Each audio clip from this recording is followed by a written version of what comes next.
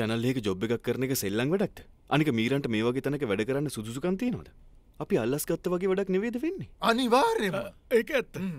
එතකොට අපි දිගටම මෙහෙම ජීවත්වෙන් ඕනෙද? නෑ. ක්‍රමයක් හොයාගන්න.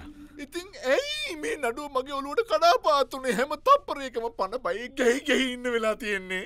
වෙලාවකට මට හිතන මගේ ඔලුවට මේ තරා ගන්න බැරි වෙලා ඔලුකඩ පුපුරලයයි කියලා. මේ ගැන යාලක කතා කරන්න ඕන්න නැද්ද. අපි මොනුව කතා කරන්නද මේ ගැන කලින් දැනගෙනත් එයාලට හැංගුව කියලා දැනගත්තොත් එයාලට හොඳටම තරහයයි.